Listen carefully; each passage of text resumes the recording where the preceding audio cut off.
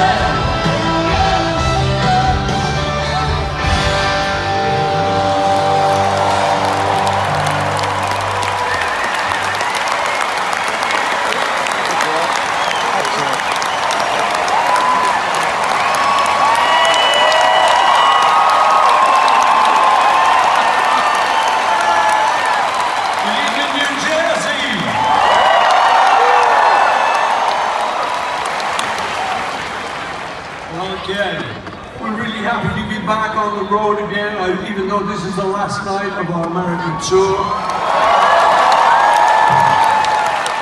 We're, we're really happy to be out here playing for you folks. Uh, so tonight we've got some old songs, we've got some new songs for you, and some in between songs.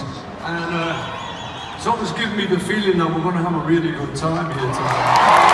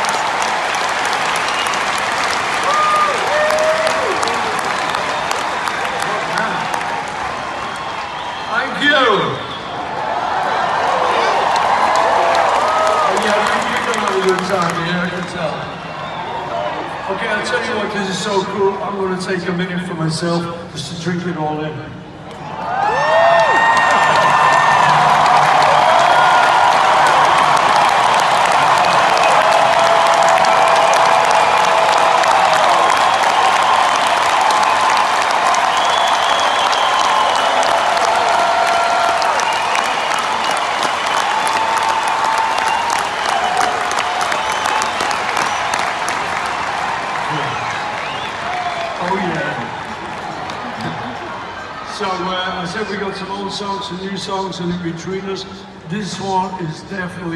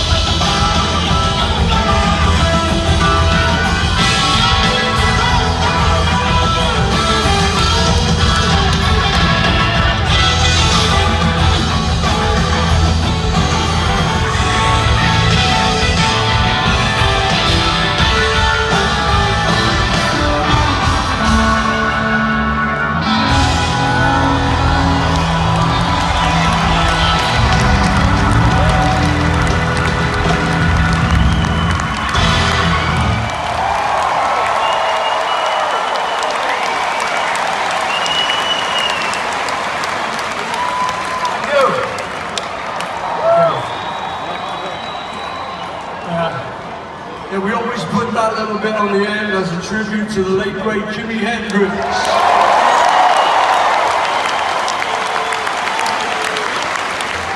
And, uh, and I tell the story that I was very lucky to be able to hang out with Jimi uh, in the 60s when he came to London. Because even though he's an American guy, he, he actually broke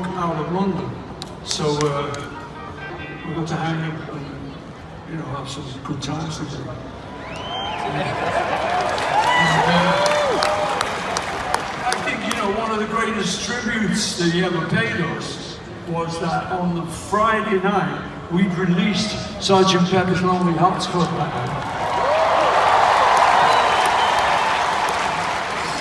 And uh, two days later on the Sunday, he'd learned it and he opened a show with it.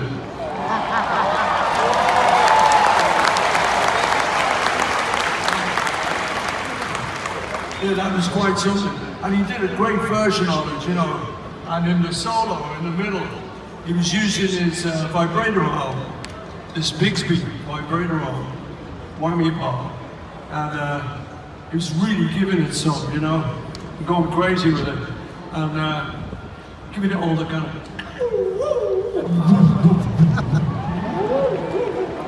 I mean, all that stuff, and it sounded great. But those of us in the audience who kind of knew about these vibrator arms at that time knew that this would send him wildly out of tune. And this is like his first song, you know. So we're all, we're all sitting there thinking, well, what's he going to do? He's way out of tune. So anyway, he starts looking in the audience. He says, is, is Eric out there? And he's looking for Eric Clapton. And, and Eric was out there. I mean, all the great guitar players in London had come to see this new guy. So Eric was out there, but he doesn't want to know. He's, he's cringing, you know. I know. And Jimi spots him. Hey man, you up here and tune this thing for? no. It yourself.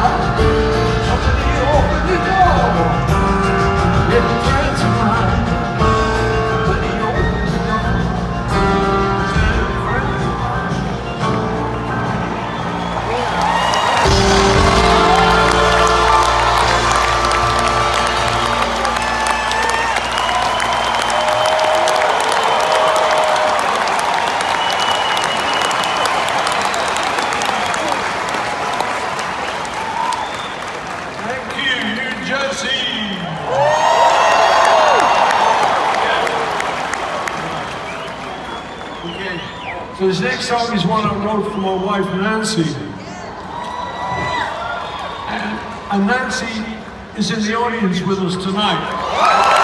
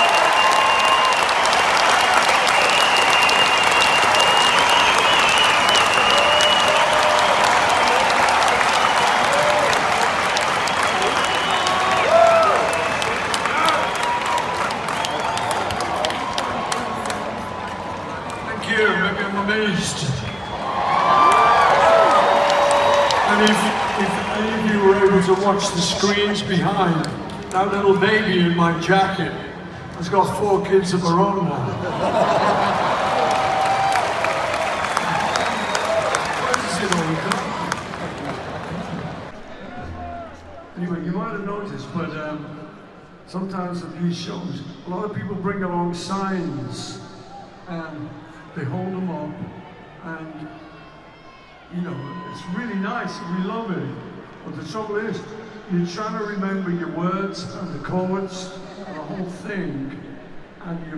says, don't read the signs. but the other half of your mind says, oh, it doesn't matter, reading it. It doesn't matter. So uh, we got some here.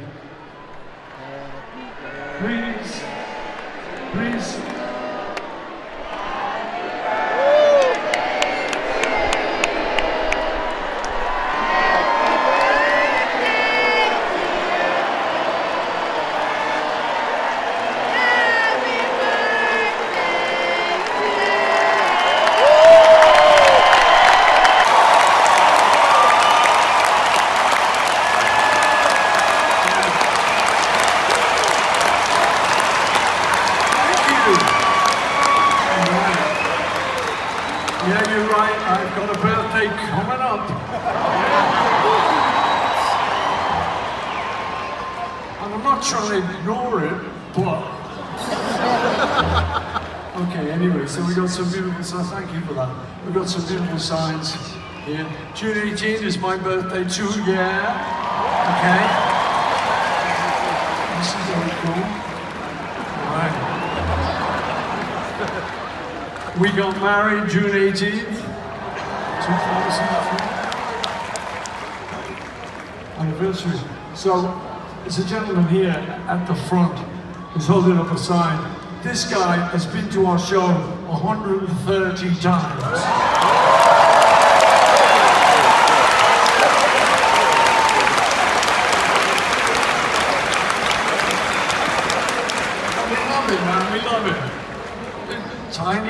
scriptures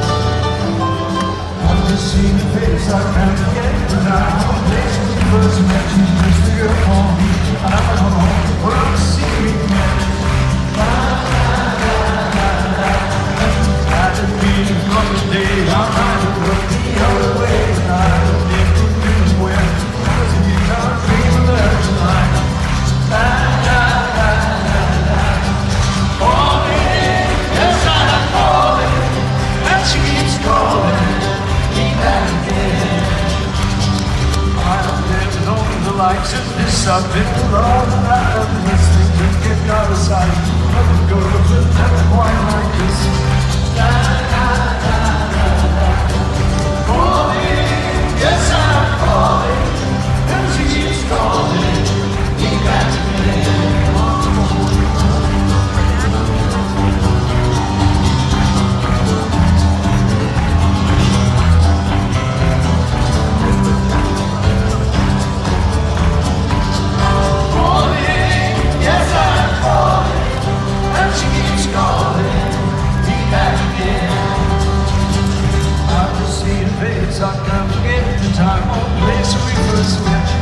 still for me. I don't know what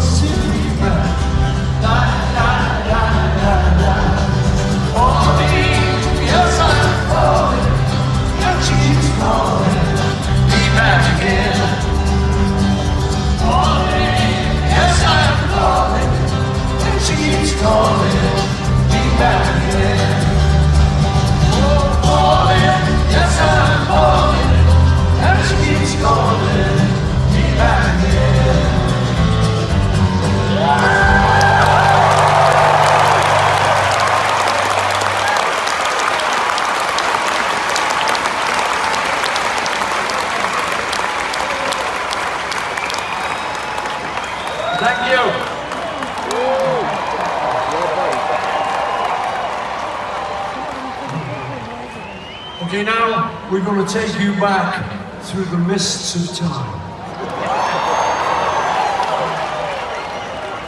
I'm taking you back to a little port in the north of England, a little port called Liverpool.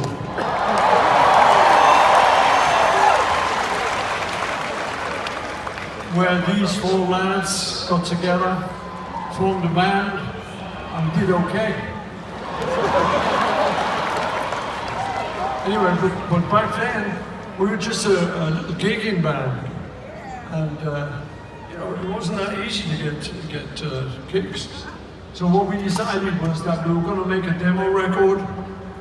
And uh, we found a little studio in Liverpool. And, yeah, that's it.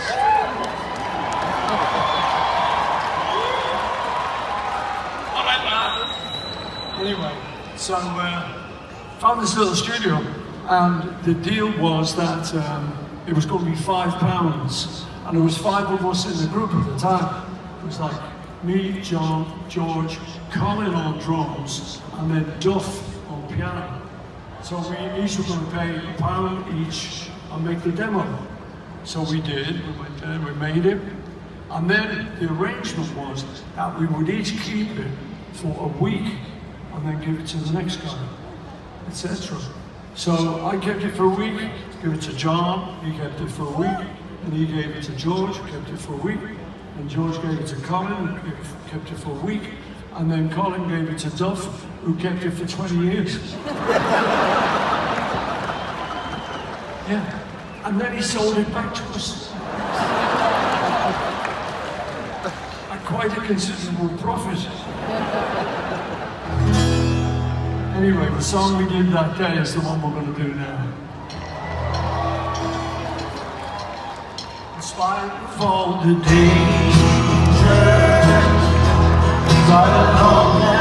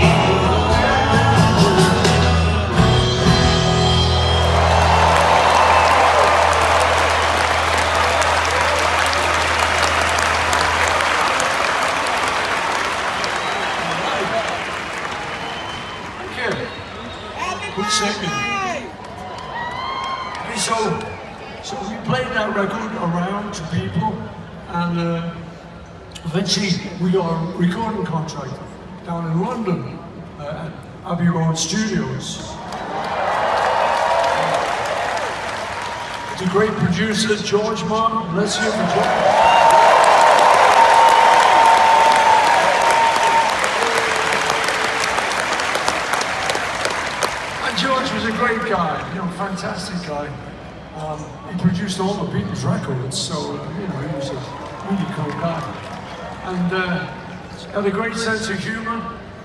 And I think that's why we got on with him very well, because you know we were Liverpool lads, a bit intimidated by the whole thing, but um, had a good sense of humour. We, we, finished one of the tracks, and he said, uh, you know, he was a posh guy. He said. Uh, James, is there anything you don't like? And George looks at him, he says, well, I don't like that tie for a start. We got away with it. Anyway, so uh, the song we, we played for George that day was called Love Me Do. And it was going okay, you know, and what happened was John took the lead vocal and he sang Love Me Do, and then he played his harmonica, so it's like, Love Me Do, wah, wah, wah. Well, George Martin wanted the Love Me Do, the harmonica, to come in on the one. So Love Me, wah. So John couldn't do both at the same time. So George turns to me and says, Paul, would you mind singing the Love Me Do line? Now, you got to remember, I'm nervous anyway, being in this big studio. And so now I'm terrified. And I say,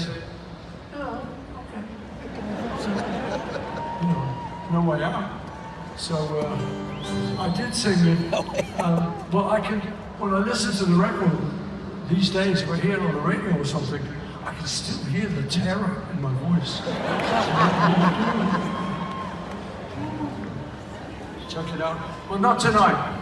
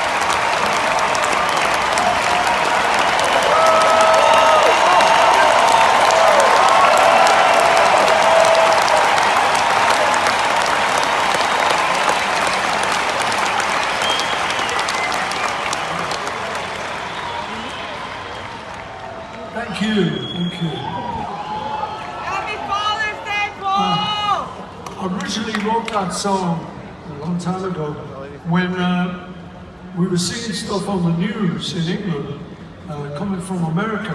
The uh, southern states like Alabama and Arkansas uh, were seeing news footage about civil rights and the segregation. And we didn't believe it. We didn't know that kind of thing happened, you know. Because we had black mates in Liverpool it just like didn't mean anything, you know. So to see the kind of stuff going on in Little Rock was quite shocking to us. And uh, I wanted to try and write a song that if it ever got back to any of those people going through those struggles, that um, it might just help a little bit, give them some hope.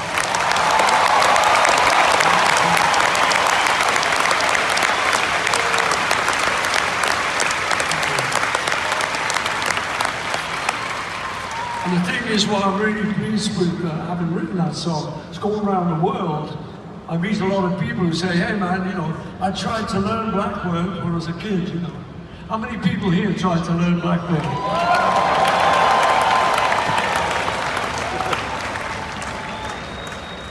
and you all got it wrong.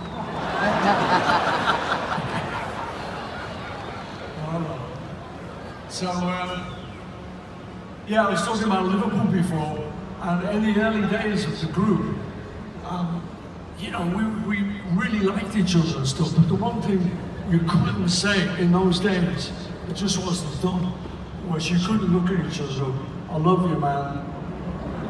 You couldn't do that. I mean, you can do that now, but uh, then, you know, we're too busy trying to be like sort of tough and hard guys and uh, But uh, so we never really said it, you know. And, and I wrote this next song after John died. Hear it for John.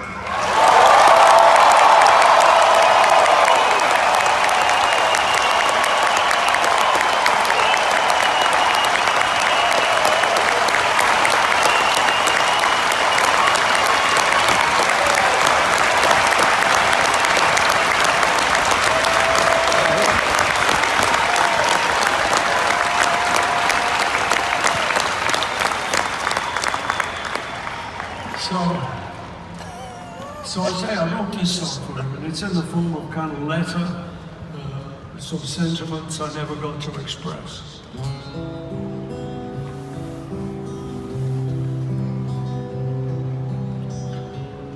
And if I said I really knew you well, what would your answer be?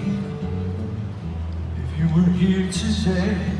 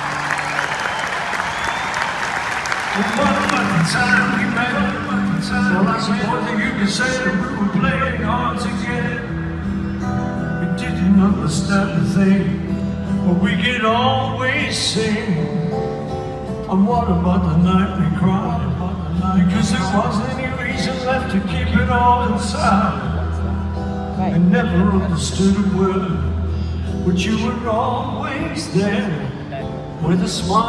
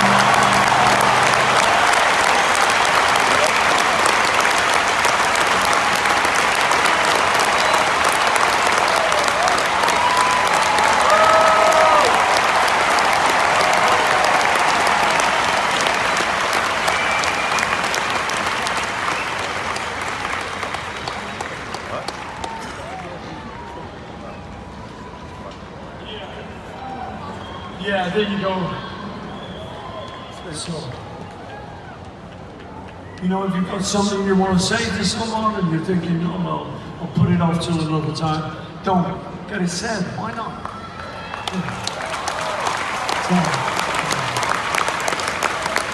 Okay, so here's the thing. We know which songs you like. Yeah, we can tell because when we do like an old Beatles song, the whole place lights up with your phones. It's, it's like a galaxy of stars. And if we do like a new song, it's a black hole. But we don't care. We don't care, we're gonna do them anyway.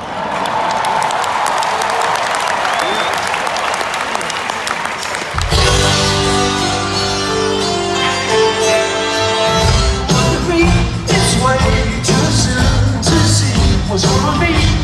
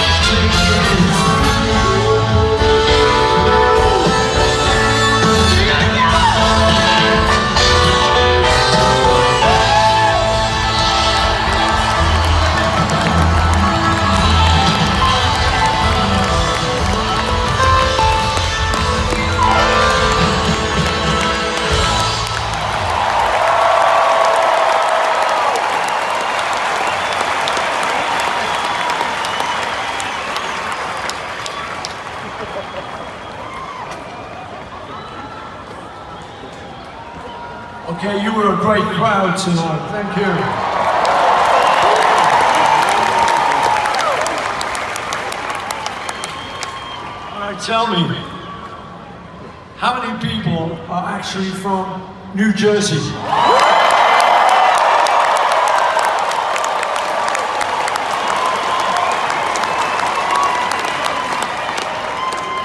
All right, how many people, not from New Jersey, but from somewhere nearby?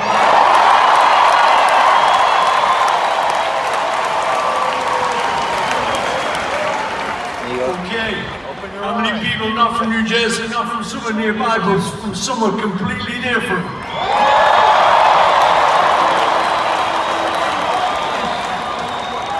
Okay. On behalf of the tourist board, we welcome you.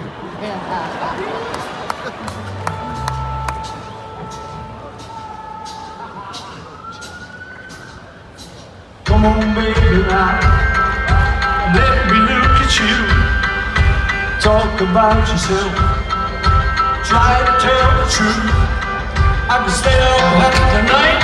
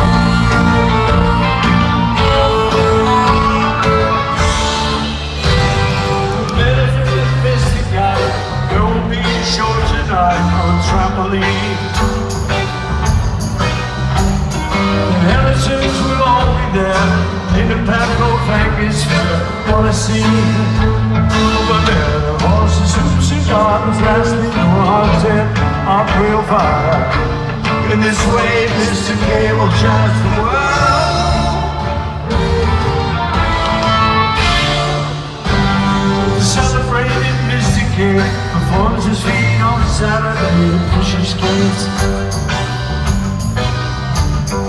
Henderson's with dance and sing. Mr. Kite flies through the rain Don't be late. The scared She should the public and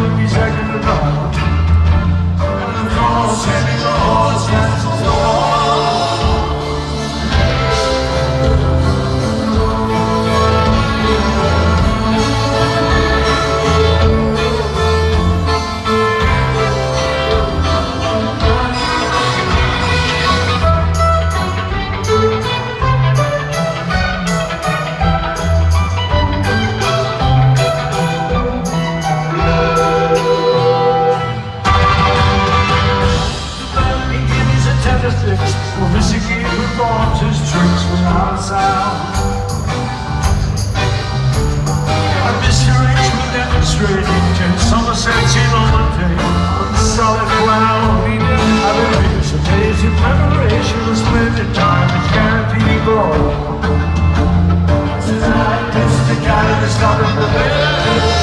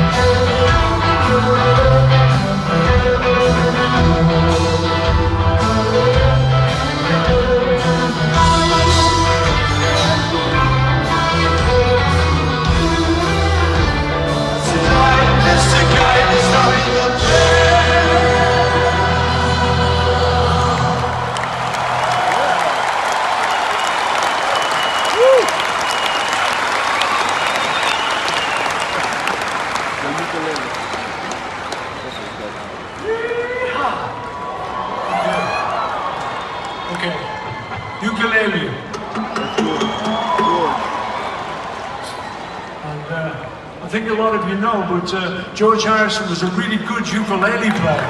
Let's hear for George.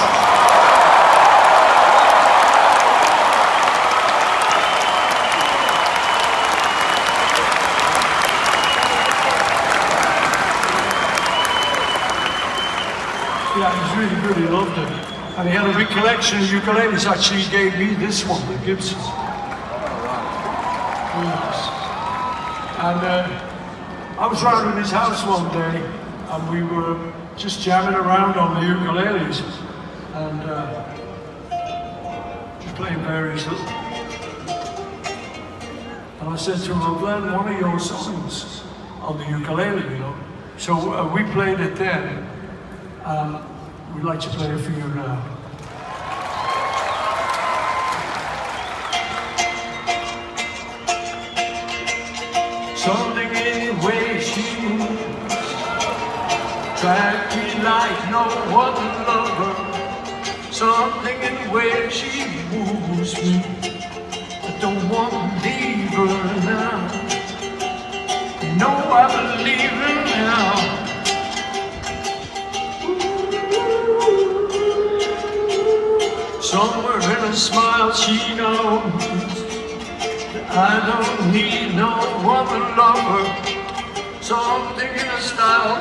That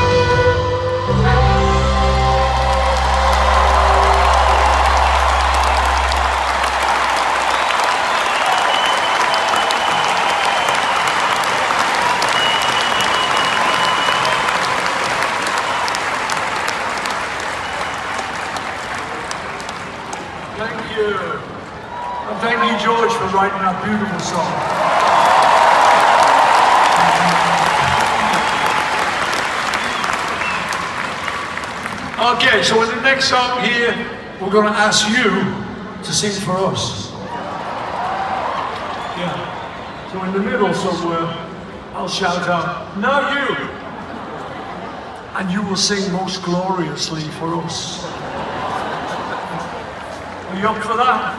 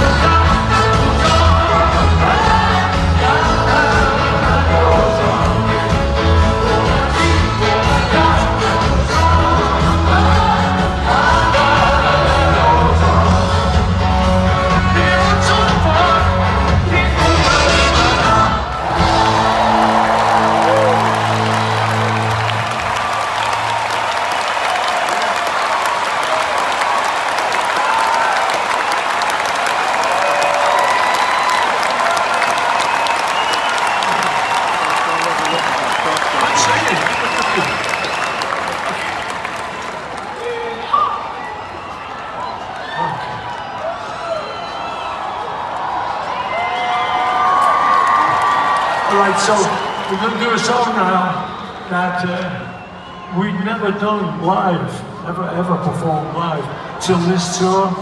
So uh, it's the first time for New Jersey.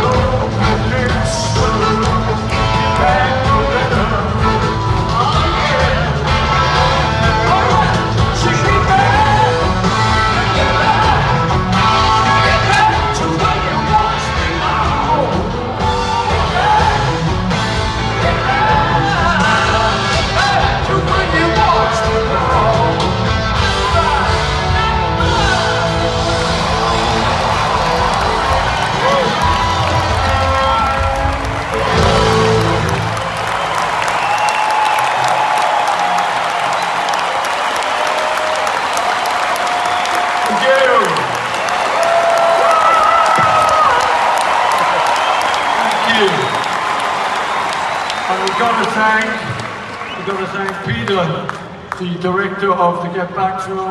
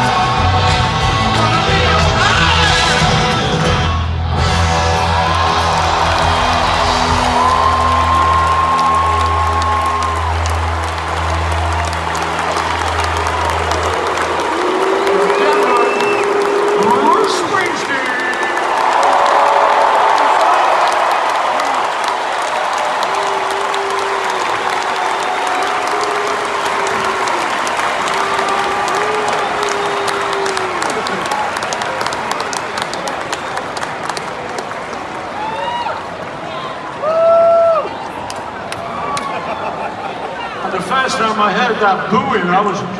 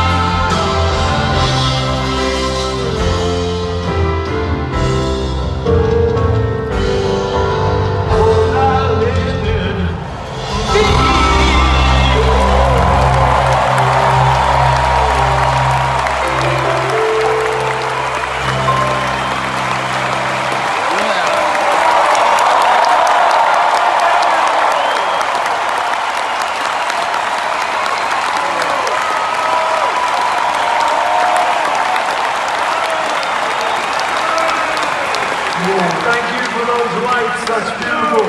Thank you. Let it be. There will be an answer.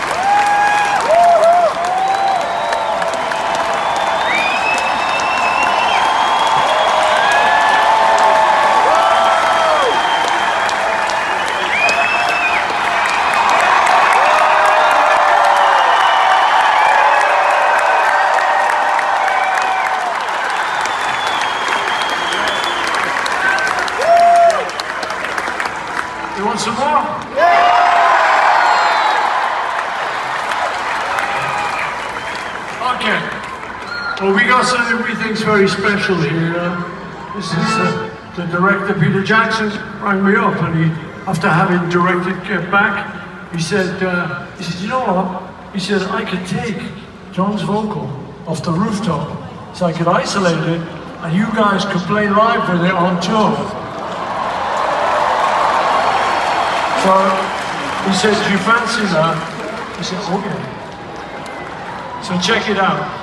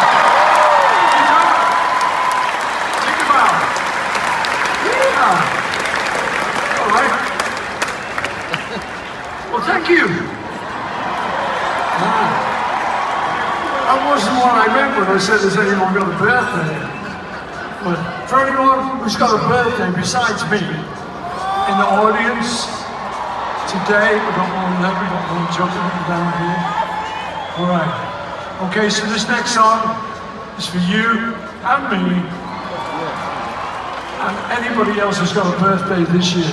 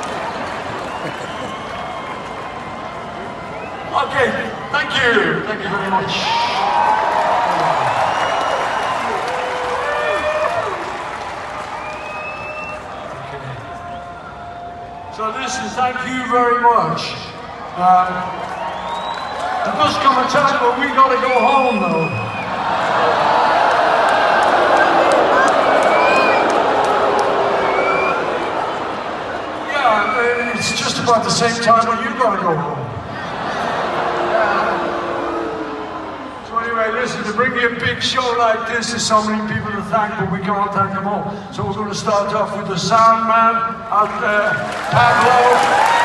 Gracias, señor. And on the right, you got Wally and his team. So, and then working with screens, there's Marcy and her team. And, you know, we've got so many people working, all the guys and girls who help us with the piano, with the guitars, with the amps, with the drums, uh, with everything, the trucks who bring it to you. And uh, also, we've got Shaky on the percussion, concussion, the. So anyway, let's hear it for the best crew in the band.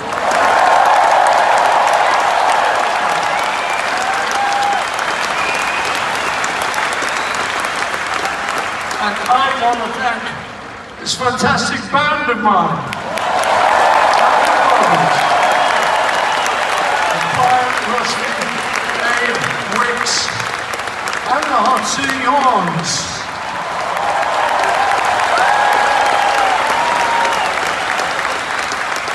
Uh, But most of all, we want to thank you for coming along. We thank you. So give yourselves a big round of applause. Thank you. We love you.